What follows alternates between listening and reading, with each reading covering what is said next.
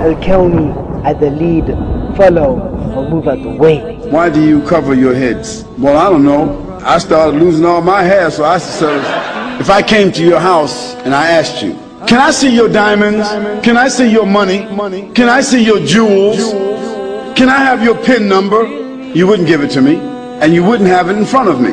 Well, our women, our wives and our mothers and our daughters, they're worth more to us, they're more precious to us than our diamonds, our gold, and our pin. There is no one on this earth more beautiful than a Muslim woman. There's no one who comes close to that. Who is a servant of Allah, who dresses to please Allah. This woman, when she look in the mirror, she makes sure she's dressed appropriately. Make sure that Allah is pleased with her. Make sure she's covered. So when she go out in the street, that she covered to please Allah subhanahu wa ta'ala. And she does that, she's beautiful. The more you grow, the more you study, the more iman you have, the more you become disattracted to some of the things of the dunya. You don't like what you used to do.